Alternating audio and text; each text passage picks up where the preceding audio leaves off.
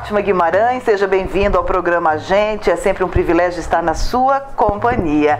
Olha, Lamartine Azeredo Babo, um grande artista da música popular brasileira. Você já ouviu falar? A gente vai conhecer um pouquinho dessa história a fundo com o sobrinho neto o Marcos. O Marcos que está adentrando junto com você, destacando este talento. Ele que tinha altos trocadilhos e nós vamos destacar agora para você. Lamartine Babo. Esta história continua. Seja bem-vindo. Obrigado. Então, Lamartine Babo é uma história que tem tudo a ver com a tua mãe, né? Tem, é uma história de, da adolescência da minha mãe, né? Uh, até uma fase mais adulta, quando ele adoeceu, né? E ele, inclusive, quando estava no hospital, ele dizia, quando a minha mãe chegava, chegou quem, quem eu queria que chegasse. Uhum. Né? Então eles tinham, ele tinha uma paixão assim, por eles não terem filhos, né? É, a minha tia avó que era casada com ele. Então eles tinham um carinho especial para minha mãe assim, até quase como uma filha, né? Que bacana. Eu quero te agradecer por abrir as portas da tua casa para nós, muito acolhedor. Aqui em Gramado, gente, é algo sensacional. Tem uma história muito presente, muito viva que o Marcos destaca para nós aqui também. Vamos começar então falando falando dele que tem algo expressivo para destacar a você. Pena que com 56 anos ele nos deixou em 1963. Lamartine Babo. Canções, várias canções ele compôs. E foi com as marchinhas carnavalescas que seu nome se tornou conhecido. Ah, o time do coração dele era o Américo. Mas qual foi o primeiro hino que ele compôs? Ele compôs 11 hinos de times. Mas qual foi o primeiro time que ele compôs? Vamos começar pelo time da paixão dele, é, que era o América? É o América Futebol Clube. Eu, inclusive, é o hino mais bonito. Que é, é, o hino. Será mesmo que é o hino mais bonito, Marcos? É, na minha opinião, da minha mãe, de todos. e aquele uma vez Flamengo sempre, sempre Flamengo. Flamengo. Não foi o primeiro dele? Foi o primeiro, mas o que ele, ele, ele caprichou no América, que era o time do coração. Inclusive, ele foi um dos sócios fundadores do América. Pois então. É, do América Futebol Clube. Veja bem, Lamartine Babo, o time do coração, o América Futebol Clube, certo? Ele compôs, gente, 11 hinos de time. O primeiro foi o do meu time, Flamengo. E aquela coisa, uma vez Flamengo, sempre Flamengo. Que coisa, hein? O primeiro Flamengo não foi o time do coração, mas ele caprichou no caprichou. América. Caprichou no América. Olha, é verdade que Lamartine era tão magro que usava um pijama de uma lista só? É, ele se, se ele mesmo fazia esses trocadilhos, né? É, se, se auto-ironizava, vamos dizer assim, né? E, e, como é trazer essa história para ti e destacar para as pessoas, como aqui no, no nosso programa, gente? É, para mim é uma coisa emocionante, né? Minha mãe cuidou desse legado durante mais de 30 anos, da, cuidou com tanto carinho da história dele, das, das, das músicas, das composições. Inclusive também muitas vezes é, ela cedia, não, é, cedia as composições para que a memória dele estivesse viva, né? Uhum. Não era uma coisa somente comercial, né? Era uma coisa, ela tinha muito esse espírito de manter a, a história dele viva. Até é, a gente é, foi um, é uma vontade dela quando ela falecesse que nós é, abrisse uma fundação uhum. e nós estamos programando isso eu e minha irmã que somos herdeiros, né? Isso. O nome da minha irmã é Carla, Carla. Borges, Borges Fortes Arguedes, né? Uhum. E uh, nós pretendemos fazer isso, né? Uma fundação para ajudar as pessoas carentes, né? Gente, Lamartine faleceu aos 56 anos. Como era o seu dia a dia, né? Era agitado, mas ele tinha essa pitada de humor.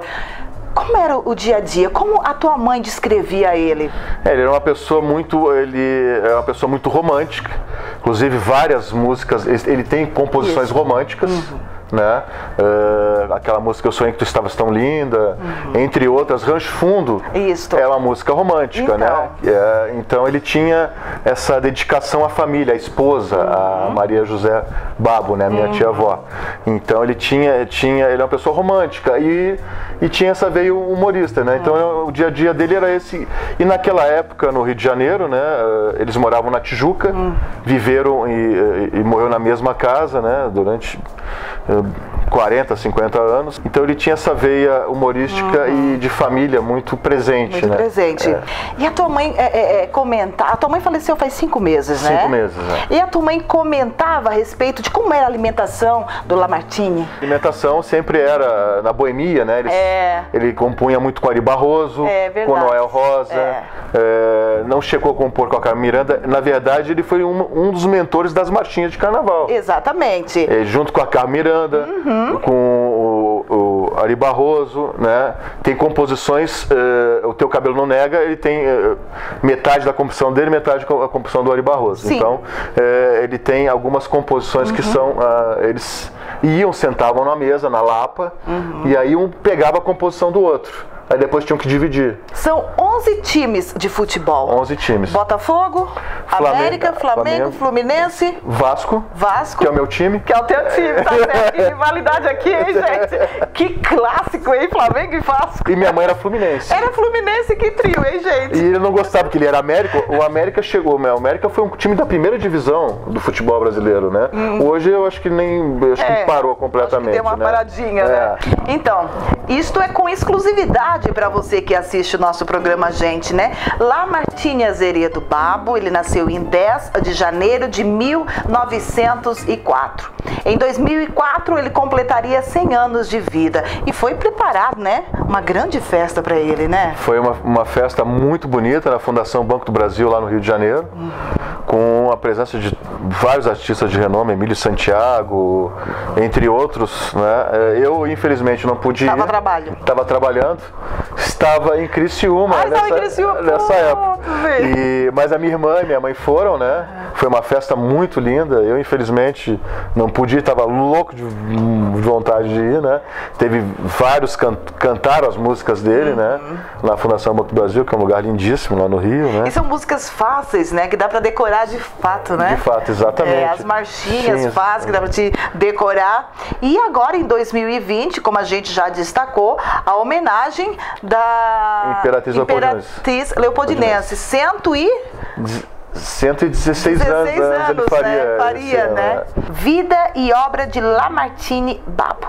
Terceira edição, revista ampliada. Que bom, né? E é muito bacana saber que as pessoas elas estão envolvidas até nos dias de hoje, assim como o Marcos, é claro.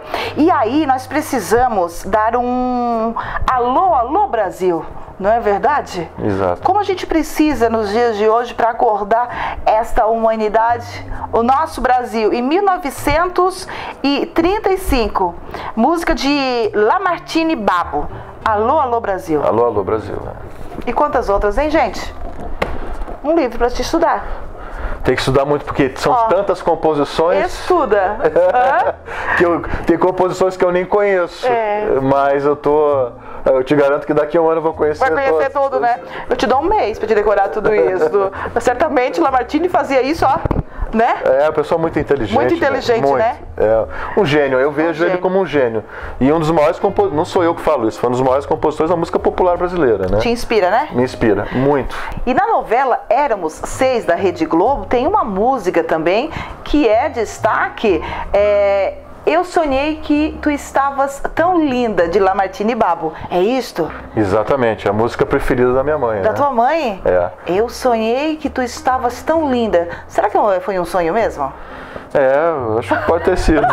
Ele era tão sonhador, né? Era sonhador, é um poeta, né? Um, como eu falei, um gênio, né? Tenho uma admiração enorme por ele. Eu quero agradecer a sua participação aqui no nosso programa, gente. Mais uma vez, obrigada por estarmos aqui neste momento único, né? De, de repassar as coisas boas para nossa gente. Este é o intuito do nosso programa, gente. Valeu! Eu que agradeço a tua visita, a tua vinda até a minha casa e fico muito lisonjeado em participar do teu os teus programas. Que bom. Eu já tenho aqui, acho que 5% da história de Lamartine na minha mente. 5%. Porque tem tanta coisa. 5% eu já aprendi, tá? Eu estudei bastante para estar tá aqui. Eu sei disso. Rapaz, eu tive que estudar, né, Lucas Nascimento? Gente, mas é gratificante repassar tudo isso para você. Obrigada pela sua companhia. Atente mais à história de Lamartine Babo. Atente, você vai se encantar.